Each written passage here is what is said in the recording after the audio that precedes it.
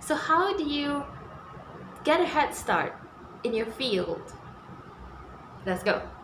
Okay, now I know that you may find it weird because I tag Quentin Tarantino, the director, um, and I'll explain why. Because the thing is, like, I believe that success leaves clues, and I purposely seek out people who are successful in their respective fields, and I want to learn what makes them tick, what makes them succeed, because you know I still believe that whenever they're successful, they're still like doing elements of sales and marketing because that's how we know of them right? Like if they don't do any of that how would we know of them? How would we know of their work? So i still like you know look for other inspiration from other industries as well.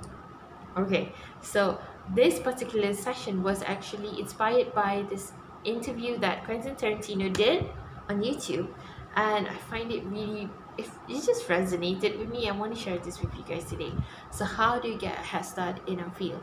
So um the first thing that he explained was he didn't have the privilege of having like uh, an ivy league expensive film school education. And he said that doesn't matter a single iota because he said that what matters is the knowledge that he got and what he did with that knowledge. And coming out of college, he was renting out with a couple of friends, and then they were all like, you know, film students and everything, and everyone was on their projects and doing their thing. But he realized quickly that he was doing more than them and that he was somewhat the biggest fish in his puddle. And to him, that wasn't inspiring because the thing is, when he looked around, he was producing more, doing more, and he wanted to look up to to be around people who was more than him. So he purposely went out to Hollywood, went out to different communities and mingled around and purposely looked for uncomfortability, being in a new environment so that he could learn because he was the weakest link in any of those communities that he joined.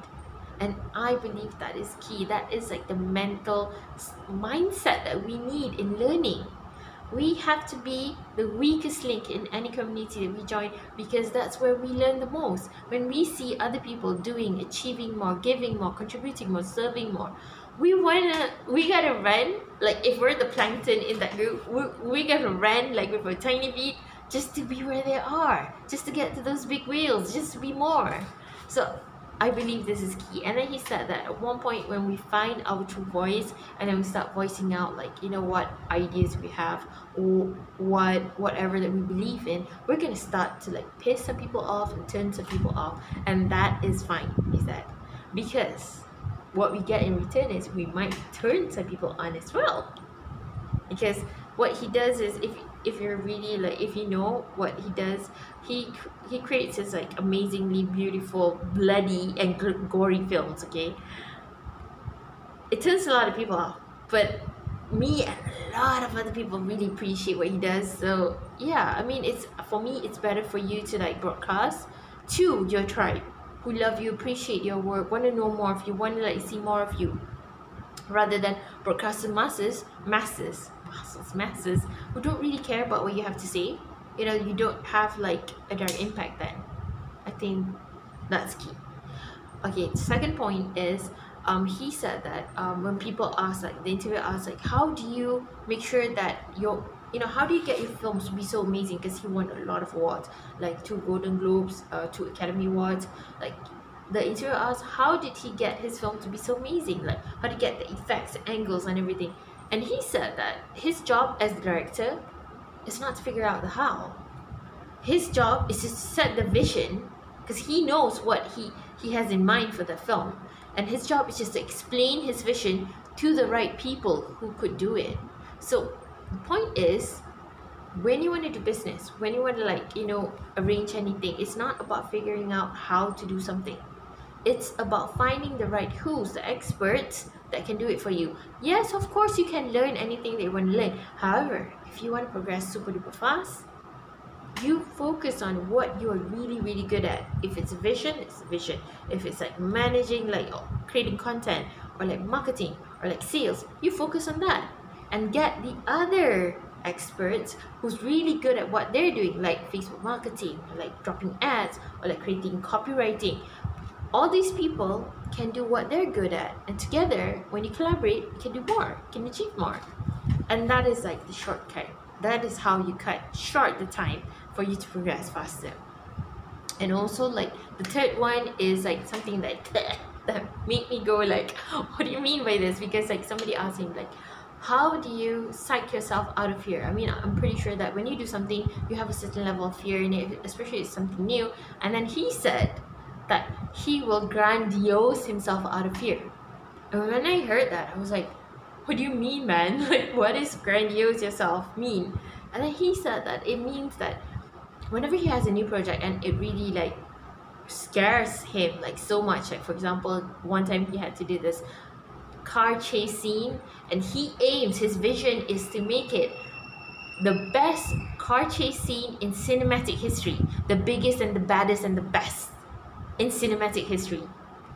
And he the way he he he got out of the fear of accomplishing that was to tell every single one that he meets online and offline all the production team all the crew members all the production house his business partner people who who's like you know funding the film everyone that it will be the best the baddest car chase in cinematic history ever and then was he scared? He said f yeah he was scared. Of course he was scared. But he did it in the belief that that if he didn't accomplish it it means that he is not as talented as he thought he was. And thus there's a limit to his talent. So a big part of him like an inner deep desire part of him wants to prove that wrong so he will like do his uttermost level best just to like save his name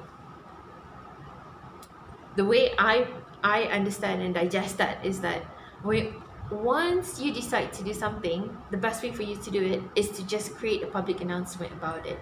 And I find this to be true because let me just share with you something personal. What I did um, about a month ago was I started on a keto eating plan. I didn't engage with any like uh, coach or whatever. I just read online. And I started because I I heard um, somebody a few people that I really follow closely and I love um, they are doing keto because they they said that it gives them mental clarity it gives them energy. And these two things are really important to me especially when we're rushing for time. And want to like arrange so many things at once. I want to like make sure everything is done. But we need energy we need focus we need mental clarity and i was like looking ways to like perform better perform higher so when they said this i was like oh my god i gotta try this i gotta try this keto so when I tried it, but frankly, I've tried it a few times before and I failed. so this time around, I really want to like, you know, get to that mental clarity that they said. I really want to test that. So what I did was I created a separate IG account purposely to be my keto um, diary, just to to publicly account myself. I mean, there's no followers. I started with like zero followers. It was just me talking to myself, weighing my weigh-ins every single day, what I eat, and then like what foods do I consume, what exercise if I did any. That's it. And the, the magical thing about this was even though I had no followers, it was just me talking to myself. I felt that I was publicly exposed for like what I said I was gonna do. So I stuck with the program and up to the point where I usually quit is about two weeks, but I didn't. I didn't quit, even though it was Raya. I mean, I, I wasn't on keto on Raya because I ate, obviously it's Raya. But after that, I continued keto again. And lo and behold, after 34 days now, I lost 7 kilos. But apart from the weight loss, what I really appreciate is the mental clarity that they promised me I got. I, I got. And and energy is amazing so yes i think that you know this strategy really really works public accountability straight on now that ig i'm not even like publicizing publicizing it at all because it's still my keto diary but um it has like organic followers for no reason. I mean uh, i'm kind of surprised and people are coming up to me like you know you are really inspiring. I want to like share your energy on this. Um, i just started keto and i'm just there because you know I love it. I it gives me energy and mental clarity. So yeah I hope this tip like helps because I love content and I think it really works. Love you guys and see you next time